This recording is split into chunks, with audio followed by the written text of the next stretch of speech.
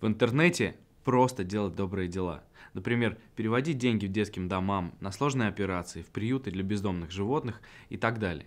Но нередко на лучших чувствах, желании помочь, поддержать, наживаются мошенники. Как же отличить добросовестный благотворительный фонд от подставного, а попавшего в беду человека от проходимца? Часто помощь нужна немедленно, поэтому объявления в сети призывают передать средства как можно скорее. Но вы все же не спешите, а прежде чем отправить перевод, потратьте несколько минут на проверку. Если объявление опубликовано от имени благотворительного фонда, первым делом забейте название этого фонда в поисковике.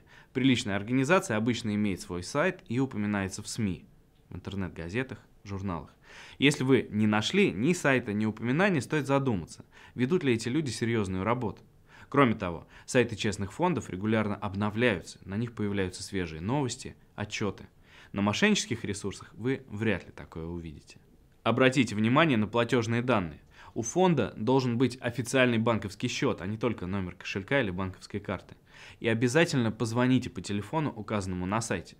Если фонд не настоящий, то номер, скорее всего, окажется нерабочим или просто никто не возьмет трубку. Еще один хороший способ проверить фонд – это навести о нем справки через какой-нибудь известный портал, посвященный благотворительности, например, милосердие.ру или Агентство социальной информации. Позвоните им или просто поизучайте список их партнеров.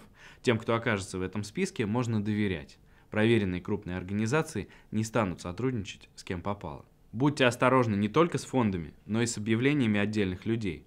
Всегда проверяйте указанные в них реквизиты по поиску. Если на счет, карточку или кошелек собирают не только средства на операцию, но и переводы за гадания и платежи на новомодные гаджеты, тут явно что-то нечисто. Полезно также поискать разные варианты одного и того же объявления. Если оно выглядит как картинка с текстом, используйте поиск по картинкам и сверьте номера счетов на совпадающих объявлениях. Бывает, что аферисты берут реальные объявления, но подменяют реквизиты на свои. То, что платежные данные расходятся, должно вас насторожить. Не стесняйтесь перезвонить человеку и узнать, правда ли нужна помощь. Во-первых, номер может быть недействительным, а значит и само объявление мошенническим. Во-вторых, в разговоре легче выявить обман. Достаточно задать пару уточняющих вопросов. Почему нужна помощь? Почему именно такая сумма? Можно ли помочь нематериально? Если собеседник начнет темнить или просить только денег, это повод задуматься. Ну и в-третьих, случается так, что помощь на самом деле уже не нужна, а объявление гуляет по интернету или социальной сети просто по инерции. Делиться с друзьями таким устаревшим или фальшивым призывом о помощи, конечно, не стоит. А вот проверенными объявлениями делиться можно и нужно. Тогда вирусный эффект интернета будет работать на благо. Мы разобрали с вами все основные виды платежного мошенничества. Осталось поговорить подробнее о платежных инструментах, карточках и электронных кошельках. Этому будут посвящены три завершающих урока.